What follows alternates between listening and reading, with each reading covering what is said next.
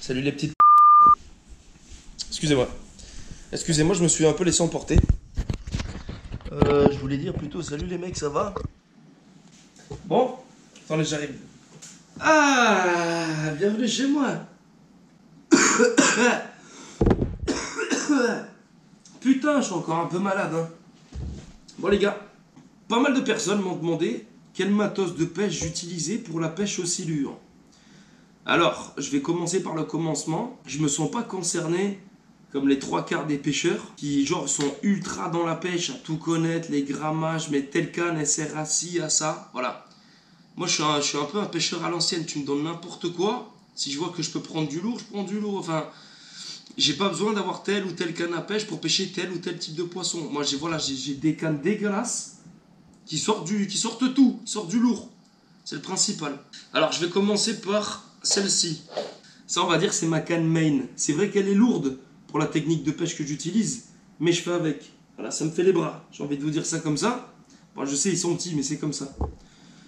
Alors, j'utilise cette canne à pêche là pour le silure à toutes les techniques possibles et inimaginables. Que ce soit lancer des leurres, pêcher en track shadow, canne tendue comme ça et, et agiter le leurre comme ça dans des zones sombres pour pêcher au vif. Mais bon, c'est très très rare que je pêche au vif. Ça existe quasiment plus, pour ma part. Et attendez deux secondes, je vais vous montrer deux, trois trucs. Après, franchement, j'ai pas mal de choses euh, enfin que je pourrais vous montrer, mais euh, je, vous montrerai des photos que j'ai cherchées sur Google. Hein. Parce que là, faut que je retourne dans mon garage et tout, tu comprends Là, il y a la clim ici, gros, j'ai pas envie de sortir. On va commencer par le commencement. Alors, il y a peut-être des personnes qui veulent savoir le grammage de la canne et tout. Alors, moi, j'en ai aucune idée. Le seul truc que je sais, c'est qu'elle est costaud. Voilà, pour sortir des gros silures. C'est le principal pour moi. C'est une canne Caperlan, c'est Decathlon qui fait ça. Ce qu'il faut savoir, c'est que Decathlon, les gars, Decathlon, c'est la famille, c'est la base. Certes, ça fait un peu, tu vois, Decathlon, c'est un peu, euh, c'est un peu la foire fouille du sport, quoi.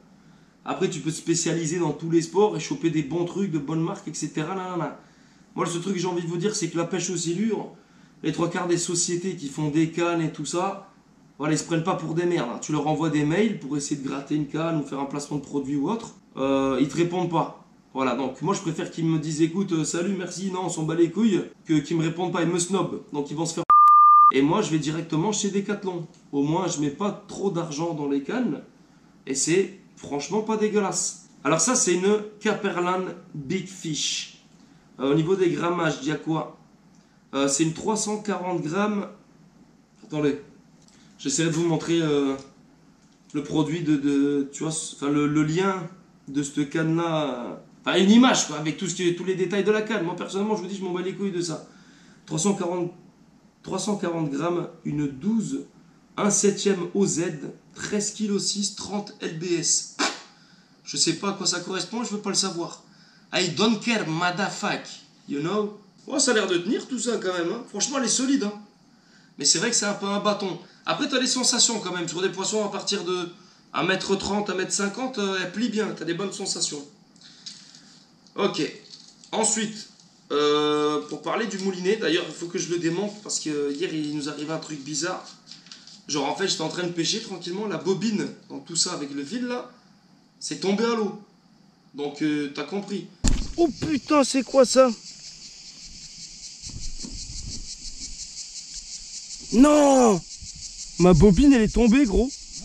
J'étais obligé de dérouler toute la tresse pour ramener la bobine. Avec le nœud dégueulasse que j'avais fait, tout enroule à la main, réparer le moulinet dans l'eau, en flotte tube, c'est le poteau Julien qui l'a fait. Franchement, c'était la merde. Mais ça va, apparemment, il marche. J'ai sorti 4 silures depuis qu'il est réparé à l'ancienne.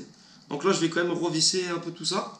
Et je vais vous montrer c'est quoi ce moulinet, qui n'a rien à voir absolument avec la pêche aux silures. Wow, wow, wow, putain, ma clope électronique, euh, Tanguy. Ok. Made in China. C'est un moulinet Powercast 50. Il a peut-être, euh, si je ne m'abuse, 10 ans, peut-être 15. Il est joli. À l'époque, il faisait le taf. Il fait le taf encore, mais je crois que c'est un moulinet pour pêcher euh, en mer, en surf casting. Peut-être que je dis des conneries.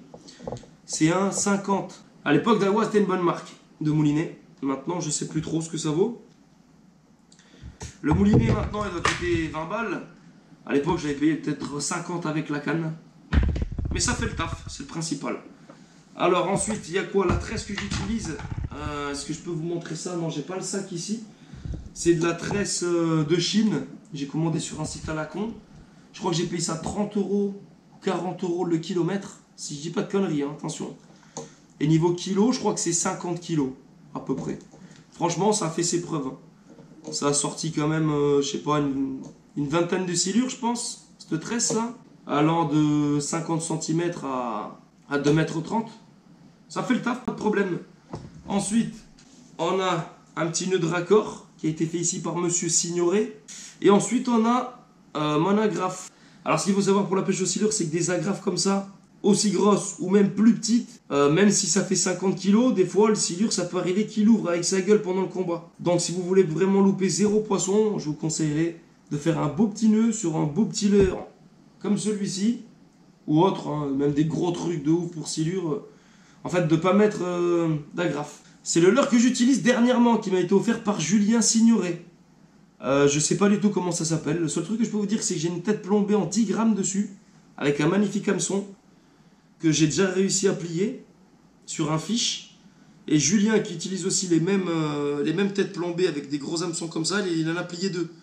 Pourtant, ça vaut quand même 5 balles, juste la tête plombée, c'est très très cher. Ou 4 balles, je sais plus. Vous pouvez voir qu'il a été défoncé de partout par les silures. Le truc, il est quasi mort. Mais il fait son taf encore. Tant que c'est planté, ça nage dégueulasse, ça marche les mecs. Technique track shadow, vous le savez. Je dis tout et n'importe quoi ce qui me passe par la tête. Ça se trouve, la vidéo, elle n'est pas cohérente du tout. Mais voilà. J'espère que ça vous plaît quand même. Au moins, vous en, savez un peu plus sur mes cannes et mon stuff. Après, je suis pas, je suis rien ni personne. Je suis pas un pêcheur exceptionnel, bien au contraire. C'est le seul truc qu'il faut savoir. Et ça, c'est une canne, je crois, qui coûte 30 euh, euros. Juste la canne. Hein, qui vient aussi de chez Decathlon. Alors, on va essayer de trouver la référence quelque part. Ok, je l'ai. Donc, elle est assez jolie, elle est courte, comme vous pouvez voir. Elle est assez fine, elle est assez courte, enfin elle est assez fine, c'est un, bon petit bâton, mais euh, elle est courte quoi. La même agrafe, euh, le même nœud au bout, la même, euh, le même fluorocarbone ici en sang, un beau nœud de raccord, un beau nœud de raccord que j'ai fait moi-même avec une boucle d'apprenti de, pêcheur, mais ça fait le taf aussi. Et là pour le moulinet, c'est un Sazori, c'est un cadeau qu'on m'a fait. J'ai eu pêcher qu'un seul silure avec, donc je vais peut-être euh, l'intervertir, pêcher avec ce canne-là et ce moulinet-là. Le seul problème, c'est que le frein, genre euh, en plein combat, il faut faire trop de tours comme ça, tu vois, ça casse les couilles, tu vois. J'ai fait je sais pas combien de tours et ça déroule encore du fil. Tandis qu'avec le moulinet qu'il y a ici, Daiwa, tu serres deux fois, ça bouge plus. Avec la pêche, notre technique de pêche à nous, dans des rivières vachement encombrées, il faut que le frein soit toujours serré à fond. Dès que tu prends ta touche, il faut que le poisson, tu le ramènes au milieu. Sous les bordures, il y a souvent beaucoup d'arbres. Et si tu n'as pas envie de perdre ton poisson, il faut vraiment que. Voilà. Donc il faut serrer le frein à fond.